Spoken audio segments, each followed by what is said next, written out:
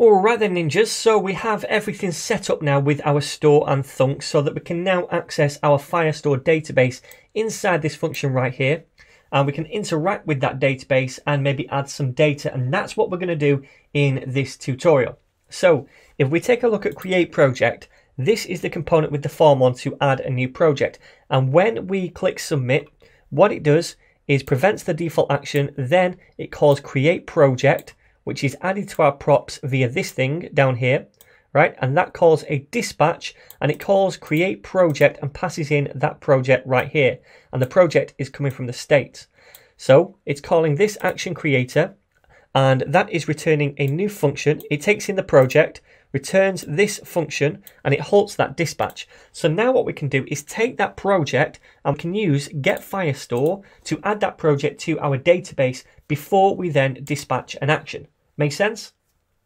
Okay, so the way we do that, the way we add some data to Firestore is by first of all initializing this function and then storing the results in a constant.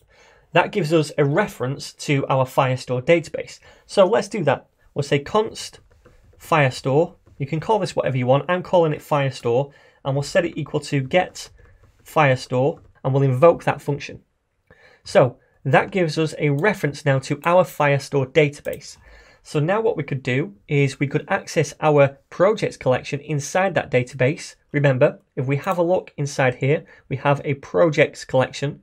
So we can say firestore.collection and then in parentheses, the name of that collection, which is projects. And that is now getting us a reference to our projects collection. Now, what we want to do is add a new document to this collection. So let's say add like so. That's all we need to do. And we pass in an object into this add method. And this object, this represents the document that we'll be adding to that collection. Okay? All right then. So inside here, we want different properties inside this project. First of all, we want the title and we want the content. Now remember, when we first dispatched this action, we passed in this .state over here, which had the title and the content.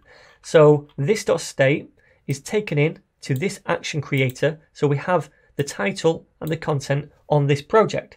So we could just use the spread operator dot dot dot and then the project which we receive to spread those two properties. So it's the same as putting the project.title and the project.content. Okay, so we have those two properties now, but we also need some other properties. We need the author first name, the author last name, the author ID, and when it was created, some kind of timestamp. So let's add those in. Now, ultimately, when we're working with authentication, we'll grab this data, this first name and last name and author ID from the currently logged in user. But since we've not done authentication yet, I'm just going to hard code these values for now. So let's say author first name and set that equal to net and I think you know what's coming. Author, last name, and that is going to be Ninja. Surprise, surprise. All right. And then we want an author ID. Again, I'll make this up for now. One, two, three, four, five. And then finally, we want some kind of property to say when this was created at, some kind of timestamp. We'll call this created at. And then we'll set it equal to a new date like so. Okay, so that will do for now.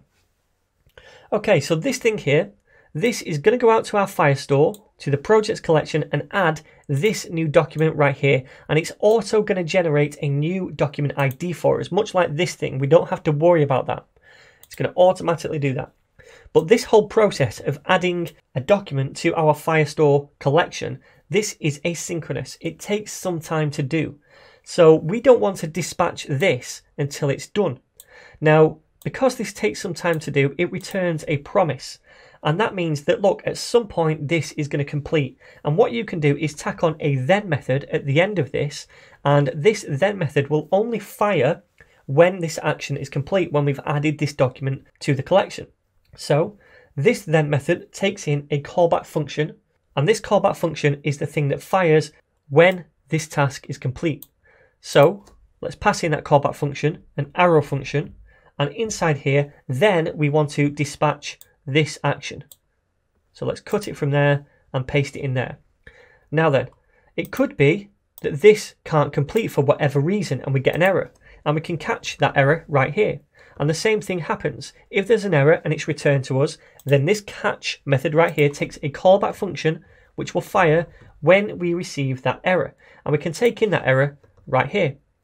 Okay, so we could dispatch a different action here if we get an error because we don't want to dispatch a create project action because we've not created a project. There's been some kind of error. So I could dispatch now a different kind of action and the type could be create project error and then we could pass in as the second parameter the error that we receive right here. Okay, so that's pretty much it. That's all there is to it. We're now connecting to Firestore to the projects collection, adding a new document based on the project that we receive. Then we're dispatching a created project action or the create project error action to the reducer. So let's save this and let's handle these two things inside the reducer now. So if we go over to not the root reducer, we don't want that. We want the project reducer. We want to handle those two actions inside here. So we've already handled this one here. We say, okay, in the case of create project, I want you to log this to the console. And then after we log that, let's just return the state as it is. We don't want to alter the state yet. We'll just leave it as is for now. Okay, so the other case was create project error.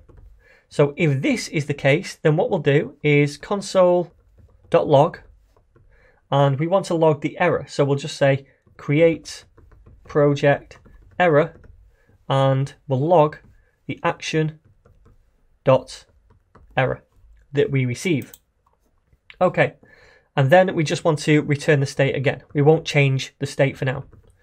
So when we have a switch case, we want also normally a default case. So if none of these match, if we don't get a create project action or a create project error action, and we get something else that we don't handle here, then we'll just have a default case that runs, and that is just going to return the state as well. And because we do that, now we can take out this at the bottom because it will never be reached.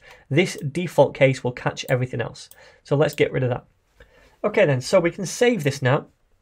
And what we could do is go over to our project and we can try this out we could go to new project and add in, I don't know, Yoshi's egg hunt and then help collect all the eggs and then we're going to create this. Now nothing happens here but if we go to our database we can see now another document has been added up here. So we can see the content is help collect all the eggs. Awesome. This is all working. Yeah, these are hard coded right now, but they will become dynamic later on. But we are successfully now hooking up our application with Firestore so we can add those documents to our collection. So just quickly, one more time, just to go through this. Feel free to skip to the next video if you want to. But what we're doing inside the create project component is we're filling in the form, then we're clicking submit. In this handle submit method, we're saying this.props.create project, and that is calling this thing down here because we used map dispatch to props to create this on the props object. We're passing in the project, which is stored on the state, and we're using this dispatch and we're calling this action creator, which is imported at the top. Okay, create project. So we're passing in the project right here, which is just this.state into this project action. And inside this project action, we return a function. We use thunk to do that we get access to the dispatch, get state, and these two things right here. Now, inside here, what we're doing is essentially pausing the dispatch while we do this asynchronous stuff. So we're getting the Firestore, then we're adding a new document to the projects collection based on the project that we receive from the state of the create project component. We're hard coding this stuff for now, and we're adding a date. Then, because this is asynchronous and it takes some time to do, we attach a then method and this fires a dispatch when it's complete to say we've created a project and this is the project and we're catching any errors and dispatching a different action, a create project error action with that error if we get one. Then we can handle those right here inside this switch case. All we're doing now is logging these to the console. We could edit the state if we wanted to, but we're not doing yet. We're just returning the state. But more importantly, we've added a document to the collection. So all this is working now. But even though we've added this to the collection, if we go to the home page, we're still seeing this dummy data. Remember, this dummy data is all defined here. So we want to find out a way, instead of showing this dummy data, to show this data inside the collection over here, the projects collection. And we'll look at how we can do that in the very next video.